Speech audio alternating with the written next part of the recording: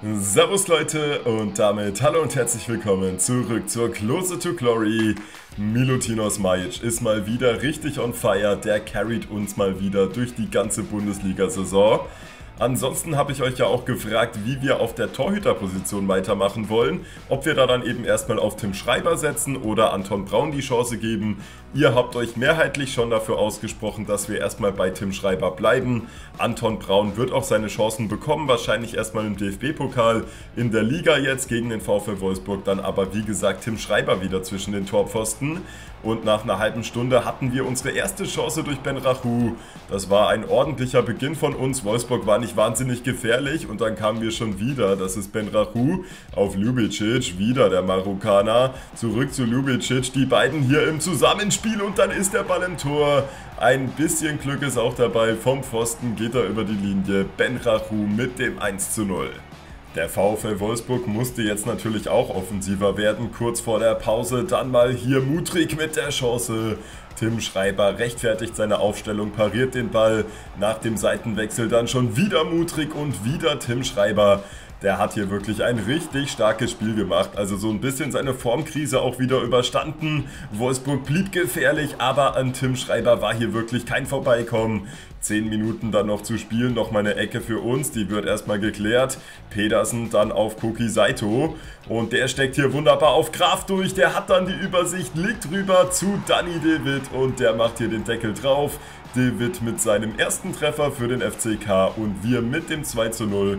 Und das ist hier natürlich die Entscheidung gewesen. Wir gewinnen also gegen den VfL Wolfsburg. Und damit bleiben wir dann auch im Kampf um die europäischen Plätze in Schlagdistanz. Wir haben drei Punkte Rückstand auf die TSG Hoffenheim, genauso wie auf den FC Bayern München und eben den VfL Wolfsburg. Also wie gesagt, alles weiter offen. Allerdings ging es jetzt erstmal nicht in der Bundesliga weiter, sondern im DFB-Pokal. Und da sind wir auf Zwickau getroffen und das zu Hause auf dem Betzenberg. Wir waren natürlich der haushohe Favorit. Wir haben dann auch ordentlich rotiert, also gefühlt durfte heute die komplette B11 mal auflaufen. Natürlich auch Anton Braun im Tor, ansonsten dann auch mal Michael Schäfer im Sturm oder ein Kabovnik auf der Rechtsverteidigerposition. Also wir haben wirklich gewaltig durchrotiert. Zehn Minuten hier dann gespielt und Michael Schäfer mit der ersten Chance.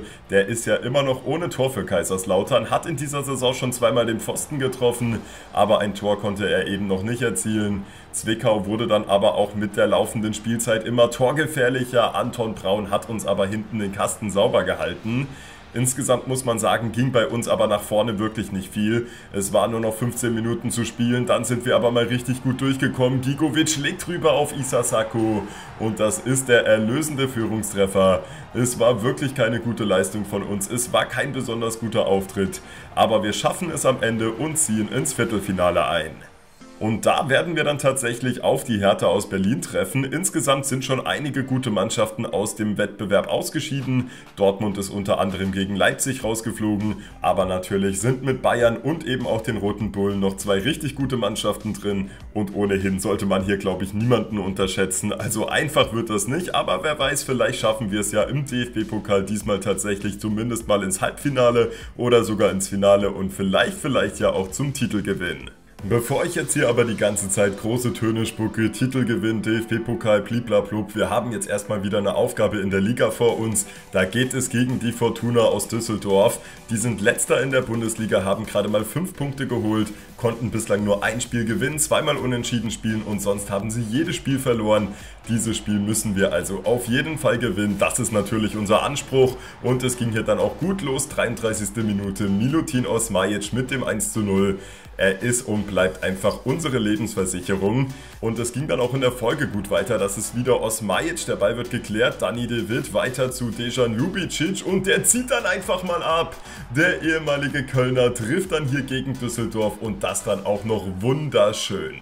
Das Spiel war damit jetzt natürlich auch mehr oder weniger entschieden. Mitte der zweiten Hälfte kamen wir dann nochmal Nikolai Pedersen mit der Flanke auf Ben Rahu und der dann wunderschön weiter auf Milutin Osmajic.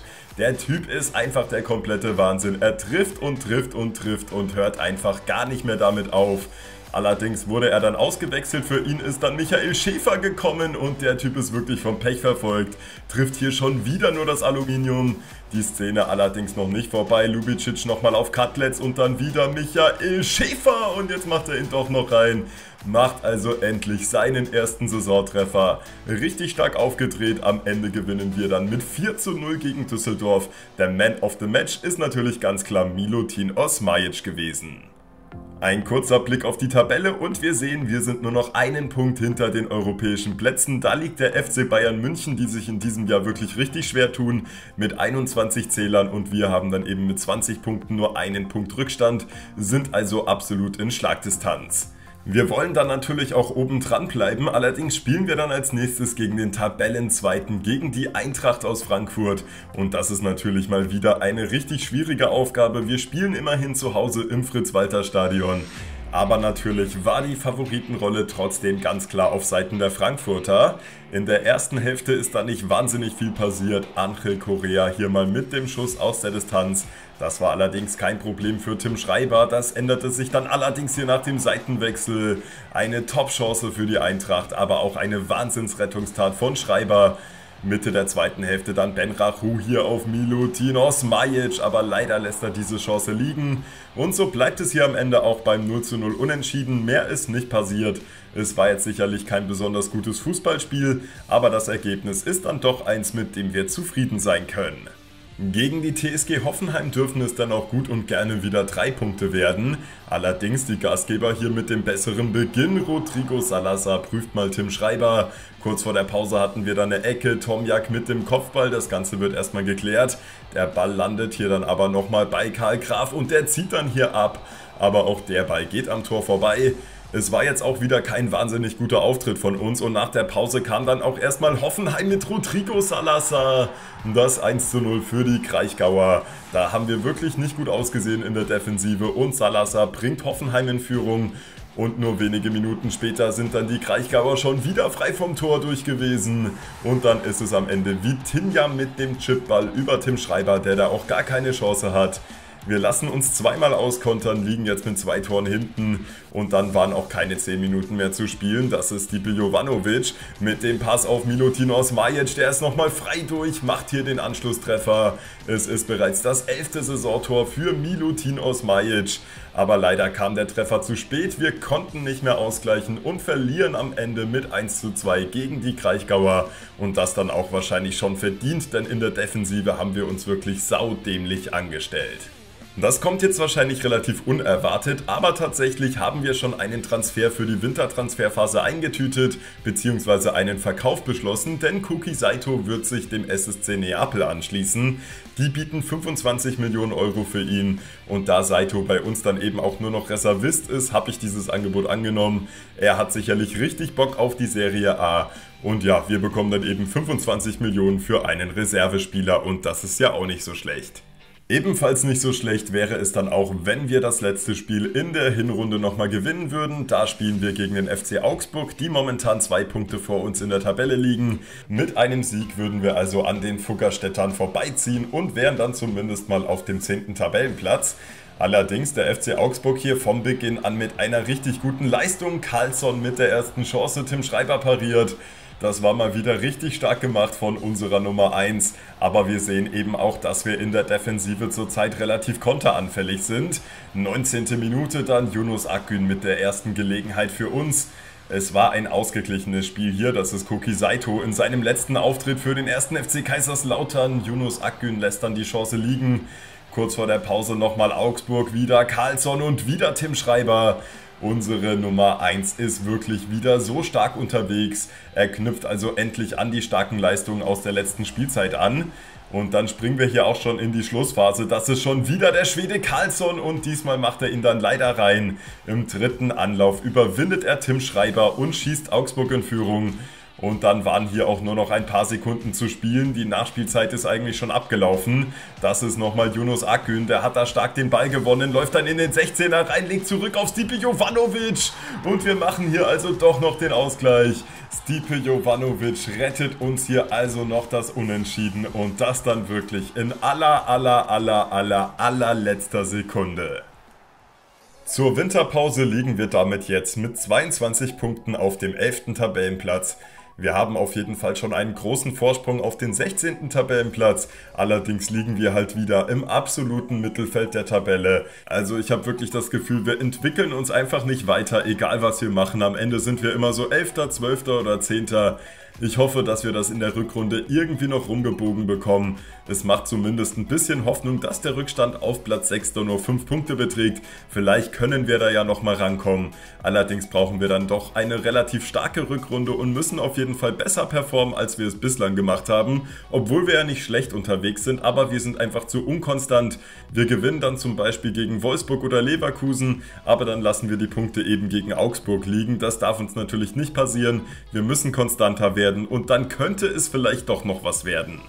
Vielleicht wird es ja auch doch noch was mit der Torjägerkanone für Milutin Osmajic. Der ist nämlich nur auf dem dritten Platz in der Bundesliga-Torjägerliste. Allerdings hat Andre Correa auf Platz 1 auch schon 15 Tore gemacht und das sind gerade mal 17 Spielen. Also der Argentinier ist wirklich richtig stark unterwegs. Aber auch Milutinos Majic muss sich wie gesagt mit seinen 11 Toren nicht verstecken. Im DFB-Pokal hat er dann auch noch einmal getroffen, weshalb er insgesamt in 19 Spielen auf 12 Tore kommt. Das ist bislang auf jeden Fall seine beste Saison. Hoffen wir dann einfach mal, dass er in dieser Rückrunde nicht einbricht wie im letzten Jahr und dann genauso gut weitermacht. Und dann muss ich hier auch noch Yassin Benrahu hervorheben. Der ist im Sommer neu zu uns gekommen und ist direkt einer unserer wichtigsten Spieler geworden. Sieben Tore hat er vorbereitet, dazu auch noch dreimal selbst getroffen. Zehn Scorerpunkte in 18 Spielen und das als Neuzugang, das ist wirklich verdammt stark. Er hat sich einfach perfekt in diese Mannschaft eingefügt. Bei Tim Schreiber muss ich ja sagen, im letzten Jahr war er überragend. In dieser Saison hat er dann nicht so gut angefangen. Inzwischen ist er aber wieder mega krass in Form. Die zwischenzeitliche Torhüterdiskussion hat sich damit wahrscheinlich auch schon wieder erledigt. Schreiber ist unsere Nummer 1. Anton Braun soll natürlich auch seine Spielzeit bekommen. Wird wahrscheinlich jetzt erstmal im DFB-Pokal sich weiter beweisen dürfen. Und dann gucken wir einfach mal, wie es dann in der nächsten Saison weitergeht. Aber stand jetzt Tim Schreiber unsere Nummer 1. Leo Keins wird uns dann erstmal verlassen, der wechselt nämlich auf Leihbasis zu Celta Vigo. Er konnte sich in dieser Spielzeit leider nicht durchsetzen, hat kaum Spielminuten bekommen und wird dann eben verliehen, damit er sich dann trotzdem weiter gut entwickeln kann. Und ja, liebe Leute, dann sind wir auch schon am Ende dieser Folge angekommen. In der nächsten Folge versuchen wir dann hoffentlich einen Ersatz für Cookie Saito zu verpflichten und starten dann natürlich auch in die Rückrunde und hoffen da dann auch wieder Richtung Europa angreifen zu können. Ihr könnt ja mal in die Kommentare schreiben, was ihr denkt. Schaffen wir es tatsächlich mal nach Europa, sei es über den DFB-Pokal oder über die Liga? Oder gibt es dann am Ende eben wieder die nächste Saison im absoluten Niemandsland der Tabelle? Das hoffen wir natürlich nicht. Wie gesagt, wie es weitergeht, erfahrt ihr dann in der nächsten Folge. Für heute war es das. Bis dahin, macht's gut, haut rein und ciao, ciao.